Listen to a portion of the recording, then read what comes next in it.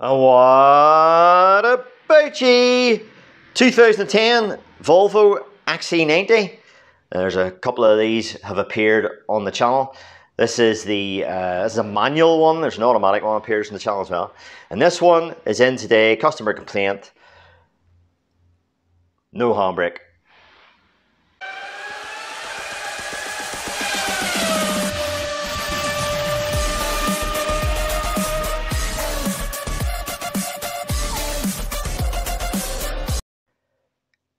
So this one has 285,000 miles on it, more or less. And uh, these handbrakes, well, they're operated with your foot, so that's really a parking brake as such, and you, you release it up there. So it works on shoes that are integrated inside the disc. So it's, it's very similar to the Mercedes ones. But uh, this guy has owned this car from new, and he tells me that the handbrake has never been any good. And in actual fact, its first MOT, when it's four years old in this country, uh, it failed on the lack of parking brake or handbrake. So he tells me then that every year, whenever, whenever he takes it in to get it serviced, he has to get the handbrake adjusted for just to get it through the MOT. And it just about passes, brake and balances are poor, but it just about passes. And about a month after that, it's back to way it was again. It's rubbish. So before we brought it in onto the ramp, we took it out to uh, verify the customer complaint, as we like to do, just to see how bad this actually is. So let's see, we're on an incline. So we're down the hill. Maybe you can see that. And uh, we'll put the handbrake on as much as we can.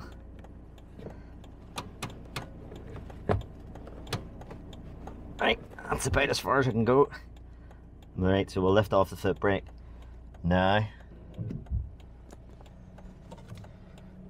Oh! He's not wrong.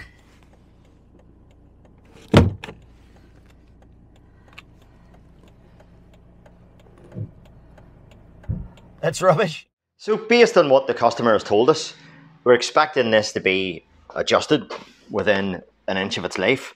And in here, uh, underneath the console, is the adjuster. So it's hidden under there, that's it there.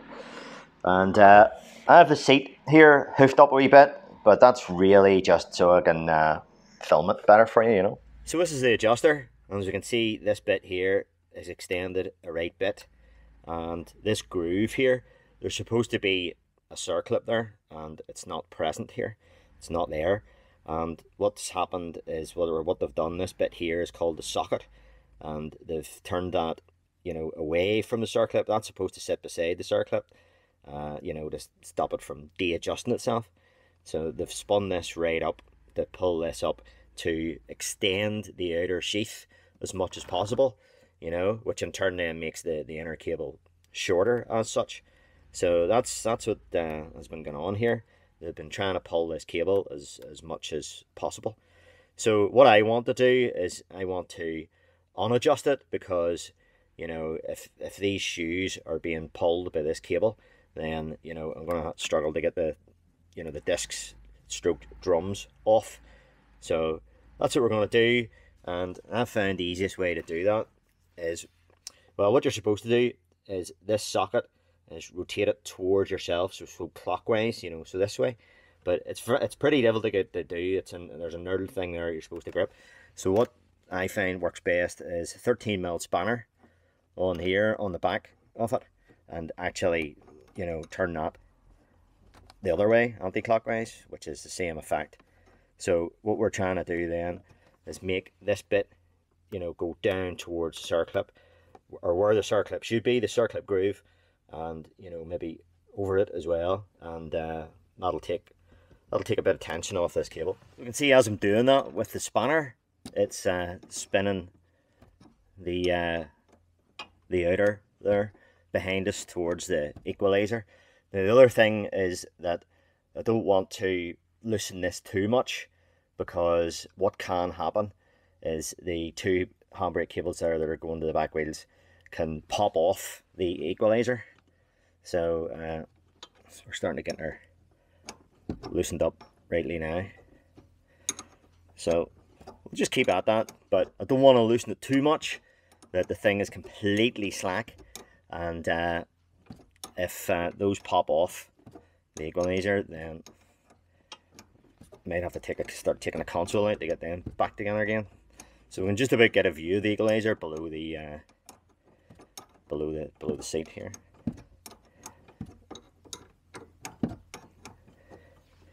So it's just starting to loosen up rightly. So we'll just bring her in beyond the uh, circlip groove. You can feel it loosening up. So hopefully that'll be enough just to get our just to get our drums off. That's all I'm really interested in. But we'll need we'll need to come back to this whenever we're finished. So our drum com disc is removed. The caliper's hanging up over there, but this this these shoes are the parking brake, and uh, this linkage here is what widens these out, you know, and that's pulled by the cable in behind here. So uh, we had enough release on the cable there to get these drums off, and uh, that was fine. I hadn't done that, we would have really struggled to get the drum drums off, drum stroke discs, because you know there's a, there's a wee bit of a lip in them. Uh, we'll have a wee look at that in a minute. So, so our caliper's hanging up over there, which is what the foot brake operates onto the disc with uh, with ordinary pads. So, but the biggest thing about this is there's no point in just replacing all this or, or doing whatever because it's still not going to work. Because remember, this the, these parking brakes, the, you know, they don't operate correctly or very efficiently, even when they're new. So the problem is this bar. So it's this thing here. So there's no way of actually adjusting the shoes, and the only way people were doing on this car anyway was by pulling on the cable to try and you know get these shoes so that they would they would uh, come in contact with the inside of the drum. So this is what we need to address. This thing here, this doesn't work. So these are discs anyway, and uh, it's this surface here that I'm interested in. So there's quite a lip on here, and the surface isn't too good in there. So not reusing them. So what can we do about that? So this is that H bar, if you want to call it that and that one's out of the other side that uh, I've already dismantled. So we'll have a few bits here from Volvo and basically what it is is an adjuster that we are going to put in place of this H-bar. Now it's a wee bit bizarre because you know if you buy that it, it's there's only one of it and uh, you know you obviously have to buy another one and bizarrely as well you know, it's incomplete. So you have to buy these wee bits, which come in a pack of two. And uh, yeah, so that's no good without those. And then we're just going to replace all the springs as well. So there's enough in that to do both sides. And the other thing as well, and I have it on good authority, I'm not 100% sure why, but everybody says, including the guys in Volvo that I spoke to, do not use aftermarket brake shoes, they do not work. On this occasion, I'll put up here all these part numbers that you need. And the reason why I'm going to do that is because the guy in Volvo, the guy in the parts department, I says to him, do you want the chassis number, do you want the registration or whatever? And he said, uh, no, because it won't come up. That part number won't come up for this vehicle because those weren't fitted to this vehicle. So you need to give me the part number. Now these, the other thing as well is these are available in the aftermarket and I don't recommend aftermarket ones of these either because they're, they're ill-fitting as well because these have a, like a rounded profile on the end there and the aftermarket ones do not. So they're not really that expensive. You know, they're about eight or nine pound each, but you need to buy two of them and then you need to buy two of those. So it does add up a wee bit. and those are about twice the price as aftermarket ones. But you know, apparently the aftermarket ones don't work as I've said. So this part number uh, here, I have cross-referenced that part number to look to see what well what is this actually fitted to then because it's not fitted to an XC90 and what came up was a Volvo 850 from the 90s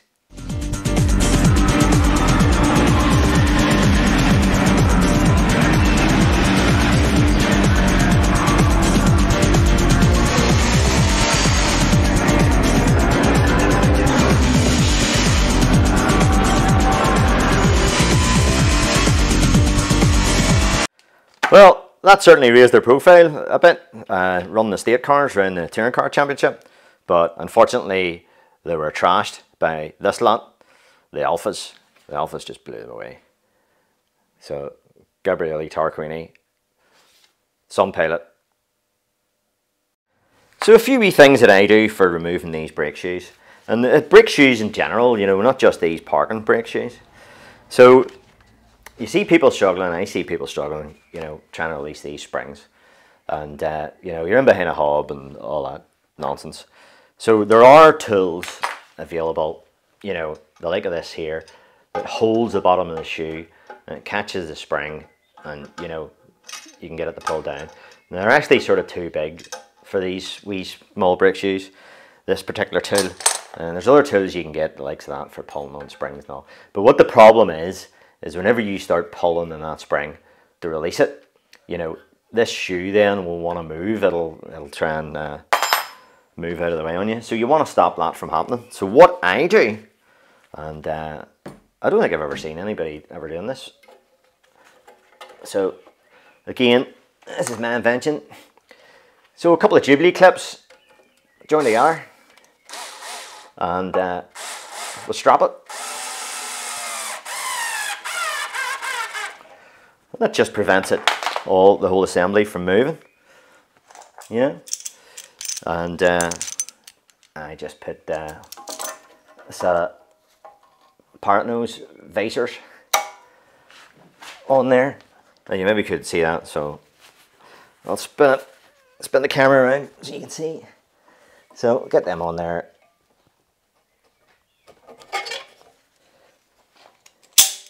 And that's it. We'll do the same with this one.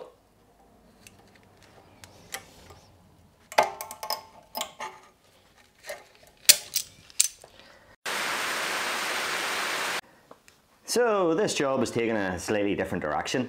So whenever I took the retainer springs off the uh, backing plates here, I discovered that there weren't actually, these parts were detached and uh, they're they're just all rotten.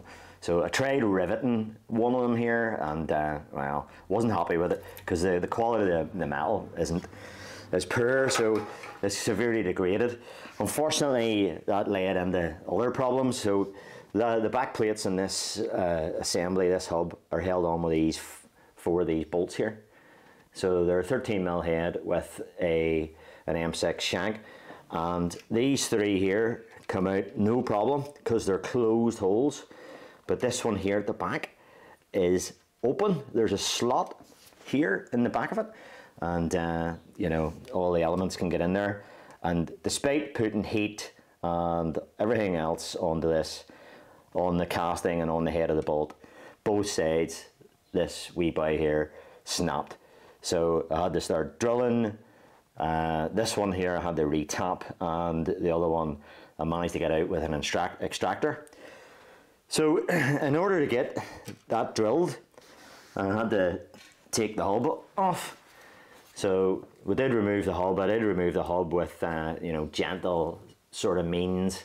So I'm happy enough to reuse this hub. So you know it's just one of those jobs that has uh, escalated a wee bit. So I wasn't happy. You can maybe see this. I don't know if it'll come up on camera here or not. But the shoe itself, you know, it was sort of kiltered over a bit because it wasn't being held in with the retainer correctly. And uh, you can see it, it's been wearing uh, on the side of it there a wee bit. So for the sake of longevity, I've decided to, well, do a bit of extra work. So we're all reassembled and we'll have our new adjuster mechanism in, instead of this uh, solid bar. So we've greased uh, the threads here and stuff like that and we'll have our band on so we're ready to put the springs in.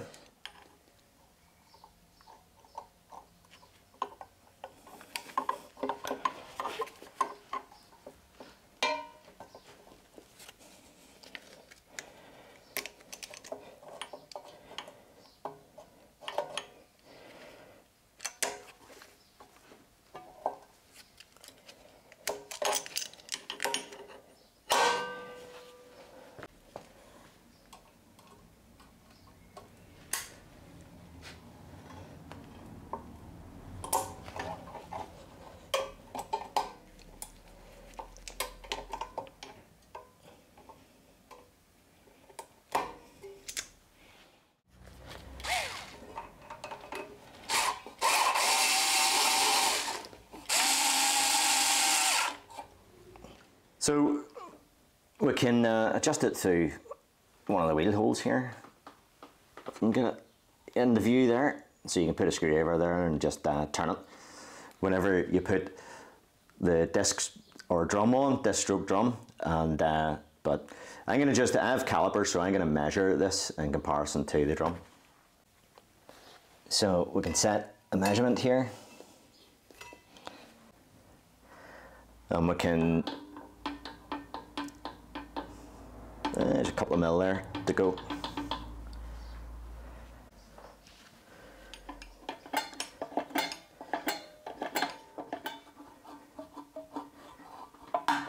Pretty happy with that. Okay, so this is a wee bit stiff there.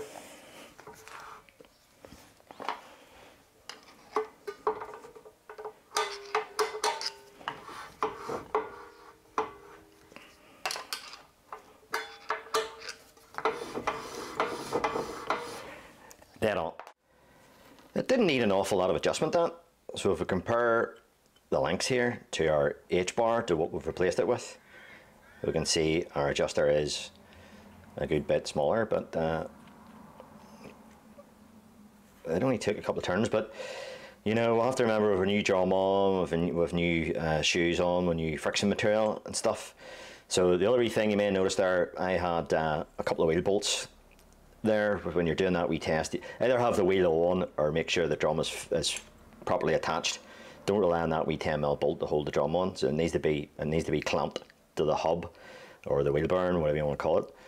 So yeah, but it does give you room for manoeuvre in the future. A sweet modification. So once our car back together again, we'll have adjusters in each wheel, but we'll still have the cable adjuster. Now, this is uh, readily available on the internet. So you just type in Volvo handbrake cable adjuster mechanism PDF and you'll get this. But this, I've checked this to the, the Volvo OE workshop uh, information and it's, it's, that's where it's taken from. So, you know, it shows us here, uh, loosening the thing off, take the circlip out and uh, screw cl socket clockwise so that uh, clip emergence, install the clip, and then adjustment. So it's a wee bit confusing this here because, you know, it sort of doesn't say that this comes after that. But yeah, that loosens it up. That allows this piece here to move then with this loose. And then you screw it back, put the clip in, and that's sort of, that's clamping this down again. And then what you do is you praise this out, you widen this out, and it sort of ratchets back. So a lot of people find this very sort of convoluted, and it's not great. I must confess, it's a bit crap, but nevertheless, I'll, I'll briefly describe, hopefully, maybe give you a wee bit more insight in how this actually works. So the, the secret is, is this bit here.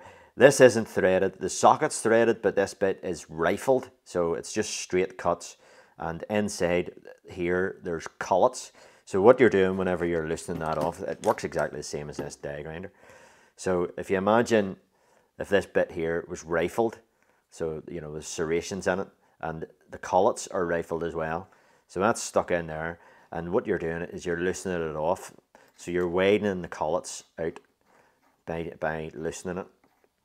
And then that allows that, that, that just goes loose then. So it's collets similar to that sort of thing there. Only they're, they're rifled inside as well, you know. So you're, you're doing the exact same thing, only like that. And then, so whenever that's loosened, that's allowed to move about. And then you, you take it back down to where the clip is, install the clip, and it, you have it against the clip. And all that is for so that that doesn't rotate with vibration in the car. It can't loosen off itself then. And then you put something in there. I normally use uh, a couple of spanners, you know, different thicknesses of heads of spanners, whatever you have, and you get that in there and you click, click, click, click, click, click, click it out, click it out, and extend it out as, far as you can, and that's basically it. Oh yeah, and uh, our new pads, there's a few wee things on them. This video isn't about how to change brake shoes or change brake pads, so it's it's more about introducing more uh, adjustment mechanisms into this into these Volvo because they're, they're very poor. Uh, they're not a great design and they don't really work. But uh, this, this one here I thought was interesting. It was in our pad box. So there's a clap, clean thoroughly, lubricate properly, accessories must be replaced. Please allow 200 kilometers for bedding in. Yeah, mm, very good. Ceratec grease applied there. And of course, do not use copper paste. So we're back in the car and we can see from the last time this part here is loose because we'll have that screwed in. Um, we make sure that the uh, the cables are still hooked in behind us there. So anyway, what we'll do is we need to screw this uh, until we can see the groove for the clip. So we'll go back the way that we had, that we were doing originally.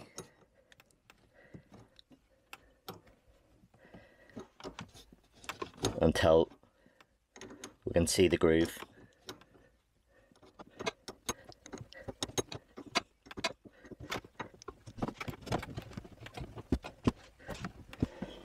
So there we go. There's the groove. And uh, we need to install the clip. So there was a, there was no clip in this uh, thing so we had to buy another one. So there's it there. We get that clip in.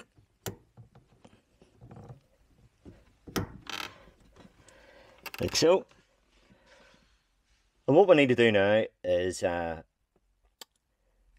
click the, the uh, come foot brake in one click.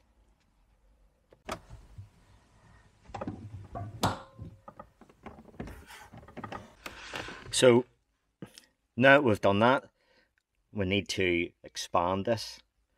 So we need to get something in here and prise this out. And we'll start to hear it clicking. So a couple of spanners make that do the job.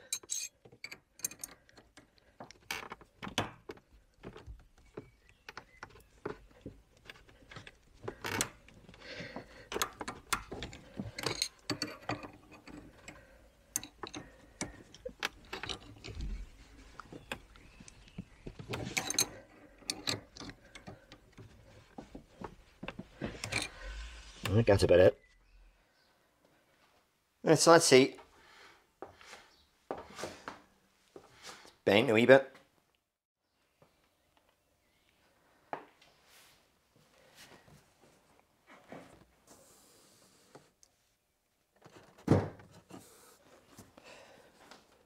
Alright, so if we remember we had it in just a one notch. So I'll get you back here again. See what that like.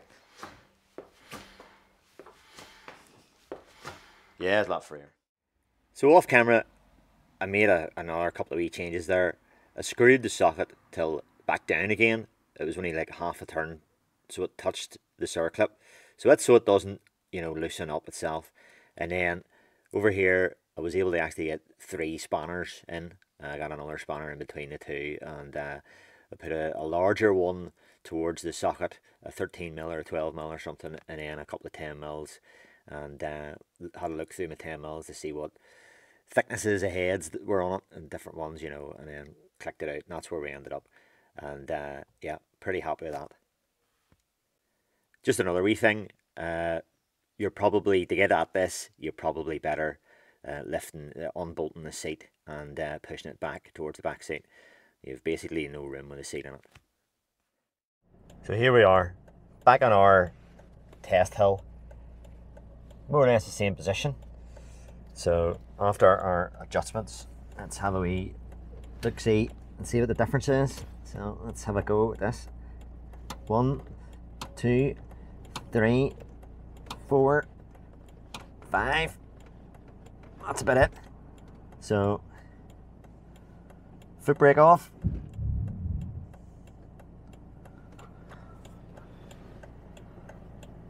And we're still here. So, right, that's a vast improvement. We're still putting some force in this uh, pedal to get it to hold. Oh, got another click there. So, yeah. We are stationary. Job's a good one. So what about wraps this one up?